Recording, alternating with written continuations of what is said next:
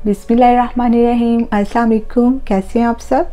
आज हम बनाने जा रहे हैं मटन सूप, यानी बकरे के गोश्त की यखनी, जो कि आजकल यूके, यूएसए वगैरह में मौसम चेंज हो रहा है। बड़े और बच्चों के गले ख़राब हो रहे हैं। इसके लिए भी यखनी बहुत मुफीद है।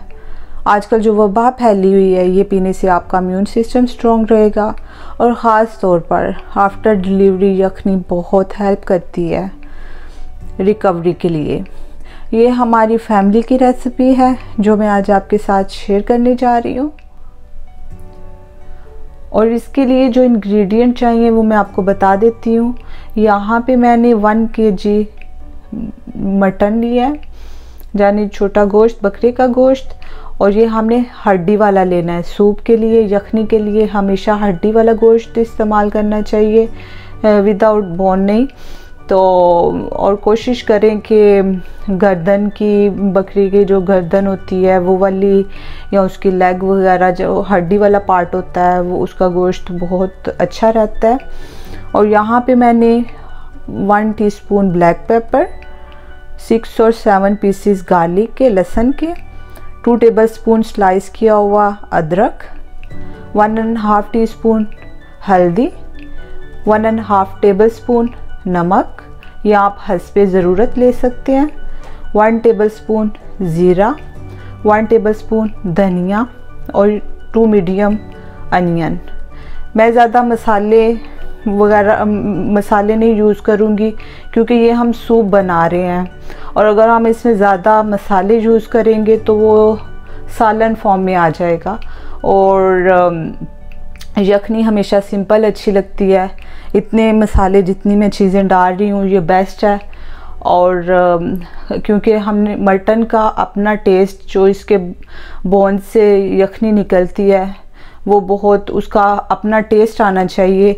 ज़्यादा इंग्रेडिएंट डालने से, मसाले वगैरह, उसका अपना टेस्ट ख़त्म हो जाता है।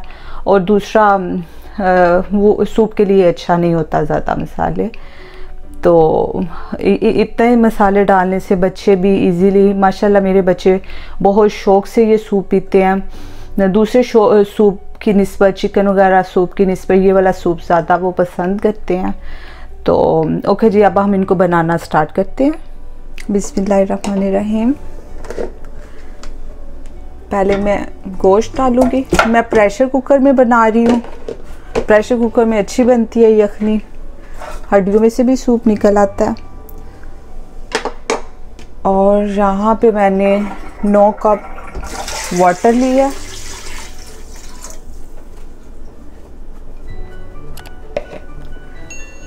आप गोश्त कई दफ़ा नरम होता है, गोश्त जल्दी गल जाता है, उसके लिए कम पानी चाहिए होता है। और हार्ड गोश्त होता है समटाइम्स उसके लिए ज़्यादा पानी चाहिए होता है। ये क्वांटिटी मुनासिब है, अगर हमें बाद में और पानी डालना होगा तो हम डाल सकते हैं। इतना इतना इस टाइम के लिए बेस्ट है। तो फ्लेम में ऑन कर देती हूँ। मीडियम पे। लहसुन। ब्लैक पेपर अदरक। धनिया। ज़ीरा। नमक। मैं यहाँ पे पिंक सॉल्ट चूज़ कर रही हूँ। आपके पास जो है वो यूज़ कर ले। नो प्रॉब्लम हल्दी और प्याज। ओके okay जी, हमारे सारे इंग्रेडिएंट चले गए हैं। अब मैं प्रेशर को वन आवर के लिए बंद कर दूँगी। आधे घंटे बाद ओपन करके प्रेशर को चेक कर लूँगी कि गोश्त गल गया है या नहीं, इसमें पानी की क्वांटिटी हो जाएगी या नहीं। लेकिन फ़िलहाल एक घंटे के लिए मैं प्रेशर बंद कर रही हूँ और देखते हैं कि क्या रिज़ल्ट निकलता है। ओके जी, मिलते हैं एक घंटे बाद।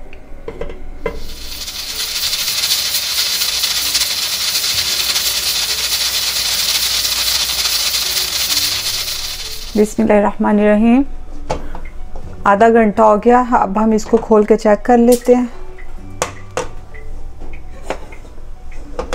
पानी अभी काफ़ी है। गोश्त की कंडीशन देख लेते हैं।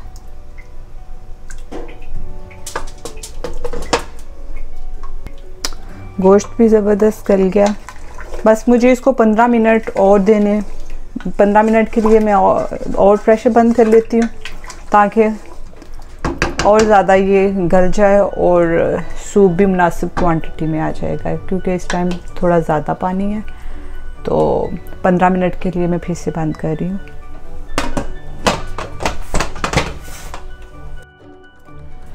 ओके जी, यखनी रेडी हो चुकी है। मैंने इसको कूल डाउन कर लिया। देखिए।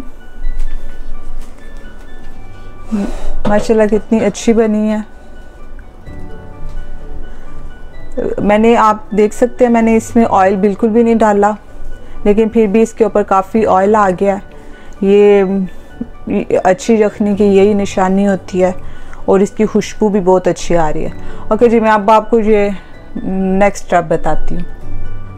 ये मैंने बाउल के ऊपर एक पोनी रख दी है फ़िल्टर करने के लिए यखनी को। अब हम इसमें यखनी डालेंगे।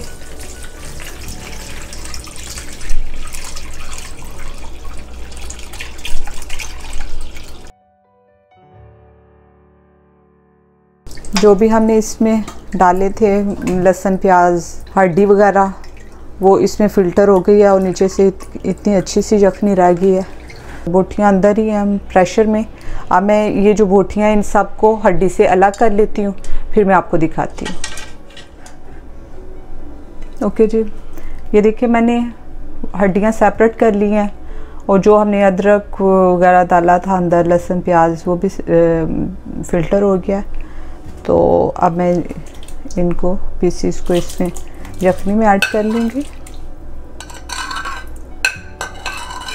इस तरह खाने में इजी रहता है। हड्डी या प्याज वगैरह मुँह में नहीं आ रहा होता। तो इजीली हम यहाँ बच्चे सूप पी सकते हैं। ये देखिए कितना मज़े का बन गया।